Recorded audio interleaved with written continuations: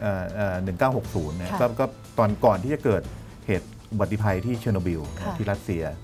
ก็มีการผลักดันเยอะนะฮะจะมีการสร้างโรงไฟฟ้านิวเคลียร์แห่งแรกในประเทศไทย สมัยจอมพลถนอมประพาสสมัยนู้น แล้วก็เอ่อ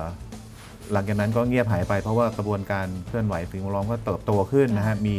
แล้วหลังจากนั้นก็มีเอ่อเชอร์โนบิลเกิดขึ้นเชอร์โนบิลนี่ก็ 30 ปีปีนี้พอดีนะฮะเนี่ยวันที่ 26 ก็จะเป็นวันครบรอบค่ะ30 ปี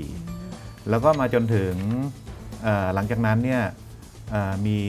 รัฐประหารสมัยเอ่อพลเอกสุรยุทธ์นะฮะที่มาเป็นรัฐบาล ช่วงนั้นน่ะนิวเคลียร์ก็กลับมาอีกครั้งหนึ่งคือก่อนก่อนเออช่วงยุคเอ่อหลังเชอร์โนบิลเนี่ยค่ะไอไอเขาเรียกอะไรความเชื่อมั่นของอือฮึคนนะฮะก็ก็ก็ค่อนข้างจะเสื่อมถอยไป เพราะว่ากลัวถ้าดูก็คือความกลัวส่วนหนึ่งค่ะแล้วก็ความตระหนักส่วนหนึ่งค่ะความตระหนักที่เกิดจากเอ่ออมผลกระทบที่มันเกิดขึ้นค่ะจริง มันจะคือการสร้างโรงไฟฟ้านิวเคลียร์มันจะมันมันจะถึงจุดอิ่มตัวในช่วงเมื่อสักสิปีที่ผ่านมาค่ะ10กว่า20 ปีที่ผ่านมาก็คือ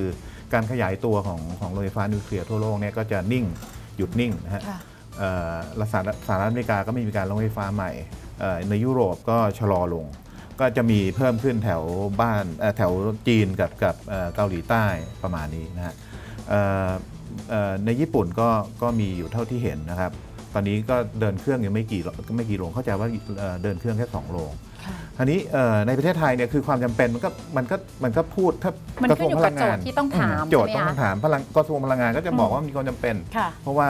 เอ่อเพื่อความมั่นคงทางพลังงานนะ